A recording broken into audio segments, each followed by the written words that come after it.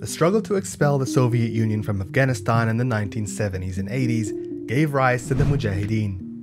They were a wide ranging resistance movement that brought together local tribes and foreign fighters from across the Muslim world, with the aim of liberating the Afghan people from the grips of communist rule. But when that war ended, the remnants of the Mujahideen movement became fertile ground for more dangerous ideas, giving birth to two groups that would dominate headlines for the next three decades the Taliban and Al Qaeda.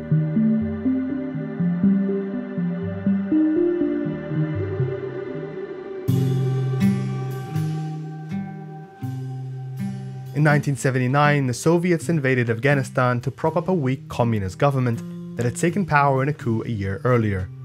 In response, a number of Afghan groups mounted a rebellion. They consisted mostly of unionists and university students and called themselves the Mujahideen, an Islamic term describing those fighting in the path of righteousness. The Soviets responded by launching intense military crackdowns around the country to stamp out opposition. This forced many of the fighters to retreat to neighboring Pakistan, where they set up training camps and schools in the border town of Peshawar. Here, they received funding and training from Pakistani intelligence, Saudi Arabia, and the United States, all with vested interests in countering the spread of communism in the region. The most prominent of these Afghan groups were Hizb Islami, headed by Gulbuddin Hekmatyar, and Jamaat Islami, founded by Burhanuddin Rabbani, and its military wing, the Northern Alliance, which was led by guerrilla commander Ahmad Shah Massoud. There were many divisions over religious and political ideas as well as ethnic background, but under pressure from Pakistan and Saudi, they formed a loose umbrella group called the Peshawar 7 and began to receive advanced weaponry from the United States. Because this revolution is an Islamic revolution and it has its special aims and goals, which is to establish an Islamic, a pure Islamic system in Afghanistan, freedom of Afghanistan, and liberation of Afghanistan. Another group of people also began arriving in Peshawar, dozens of foreign volunteers from across the Muslim world eager to join the front lines of the fight. The most influential was a Palestinian scholar, Sheikh Abdullah Azzam, who had declared a ruling or fatwa while teaching in Saudi Arabia that urged all able Muslims to travel to Afghanistan and take up arms against the Soviets. Azzam insisted it was a religious duty to take part in the fight to free the Afghan people from the tyranny of the Red Army. الله لا يهزم. قوته لا تذل. وهذا الذي غاب عن أذهان القوى الكبرى وعن أذهان الذين يدورون في فلك القوى الكبرى حتى غابت عن أذهان كثير من المسلمين الطيبين. Azzam moved to Peshawar and established Maktab al-Khidamat, the Arab Services Bureau, to house and organize the volunteers who began arriving and who would be nicknamed the Arab Afghans. One of those who heeded the call was a young man from one of Saudi's richest and most established families. His name was Osama bin Laden. Bin Laden rose to prominence among the volunteers due to his financial resources and connections across the Arab world, which he used to unlock a steady stream of donations to the cause. He traveled to the southern regions of Afghanistan with a group of volunteers and fought alongside the Mujahideen fighters, and slowly the tide began to turn against the Soviets. As stories of the Mujahideen spread across the Muslim world, invigorated by the passionate writings of Abdullah Azzam, more people began to make the trek to Peshawar. Among them would be those with their own ideas of what the fight was actually about and how far it could expand. Some analysts suggest Arab governments like those in Egypt, Algeria, and Jordan seized on the opportunity and released Islamist militants from their jails in the hopes they would head to Afghanistan to fight and die there.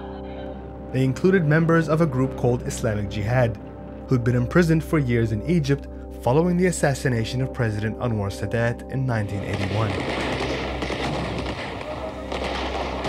They subscribed to a doctrine that justified killing anyone who disagreed with their extreme interpretation of Islam. This included civilians, Muslims and non-Muslims alike, who were seen as heretics. Their leader was Ayman al-Zawahiri, and he and a handful of other Egyptians traveled to Peshawar where they formed a close alliance with Osama bin Laden, who slowly grew distant from Abdullah Azzam and eventually left the Arab Services Bureau to set up his own organization. By 1987, the Mujahideen had successfully retaken large parts of the country from the Soviets, whose vast empire had been in slow decay for years and on the verge of collapse. On the 20th of July, they announced their withdrawal, and the Mujahideen turned their attention to Afghanistan's communist government, who hauled itself up in Kabul until its surrender in 1992. The struggle for freedom waged by the people of Afghanistan is inspiration to free people all over the world. We have supported them in their effort to liberate their country from foreign domination and will continue that support as long as it's needed. As a free people, we can do no less, for their struggle is our struggle. But peace would not find rest, because soon the coalition government formed by the Mujahideen leaders began to fracture and the two iconic commanders of the rebellion, Gulbuddin Hekmatyar and Ahmed Shah Massoud, were at war with each other. Meanwhile, back in Peshawar, Osama bin Laden had successfully dominated the Arab camps, declaring himself as Emir, while Ayman al-Zawahiri and his group accused their former religious teacher Abdullah Azzam of being a Saudi agent who couldn't be trusted. In November 1989, Azzam was killed by a roadside bomb while leaving his house with two of his sons. مع بعض عملائها من العرب هم الذين قاموا باغتيال الشيخ. وأما هذه التهمة نعتقد يروجها اليوم اليهود والأمريكان وبعض عملائهم ولكن هذه أدنى من أن ترد. ومن عاش الساحة يعلم مدى الصلة القوية بيني وبين الشيخ عبد الله عزام. Laden and Zawahiri began forming a vision that extended beyond the borders of Afghanistan. They would rally Muslims everywhere to take up arms and fight against the West and its allies on their home turfs. They traveled to Sudan and began supporting other militant groups in Algeria and Egypt to carry out acts of terror against their oppressive regimes and the civilians who refused to fight.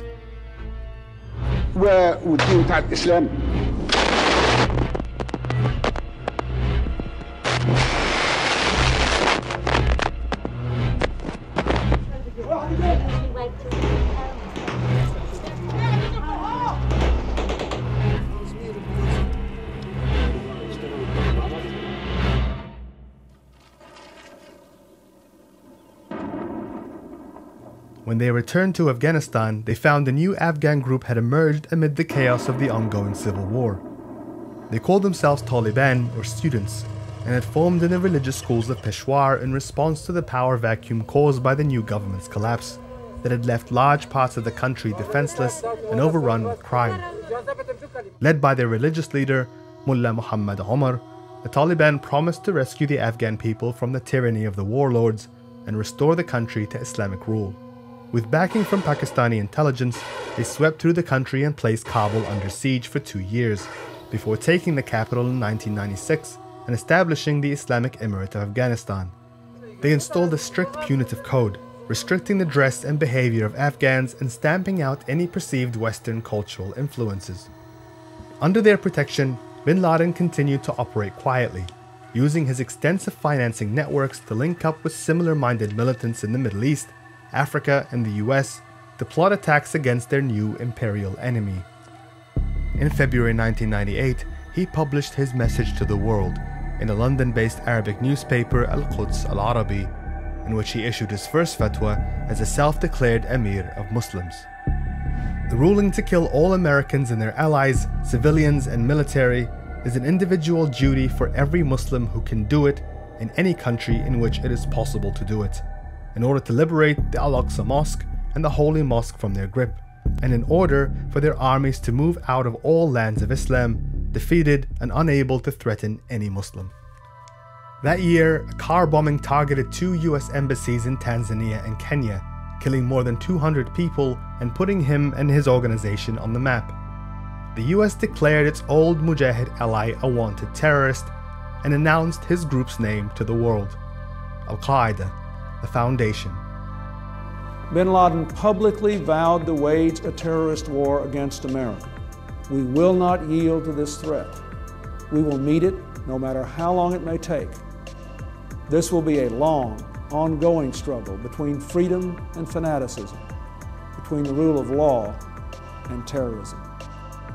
One of their followers, the Jordanian Abu Musab al-Zarqawi, would later travel to Iraq to set up a branch of Al-Qaeda, which would ignite a brutal sectarian war following the US invasion and later transform into the Islamic State in Iraq and Syria, ISIS. Another was the Pakistani Khalid Sheikh Mohammed, who would begin to seek their help in his ambitious plan to take their jihad to US shores. On the 9th of September 2001, the head of the Northern Alliance, Ahmed Shah Massoud, was assassinated by two men posing as journalists. It's widely believed to have been the work of Al Qaeda in retaliation for a visit Massoud made earlier that year to the European Parliament, where he warned the United States that it could be a target of an attack if it didn't take the situation in Afghanistan seriously. Tanha هدف از این گروه ها افغانستان نه بلکه اهدافی از او قدم Two days after his death,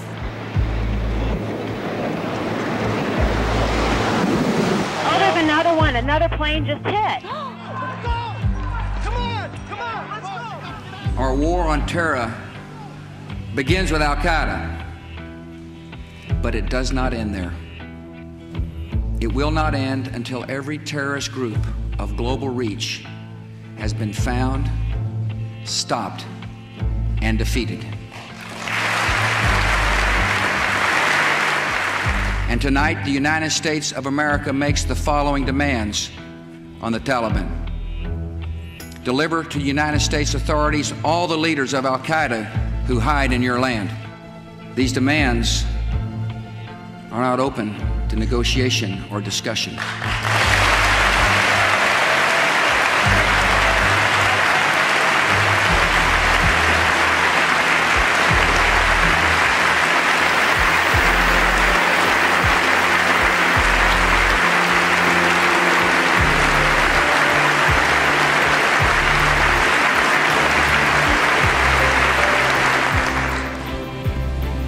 Taliban must act and act immediately.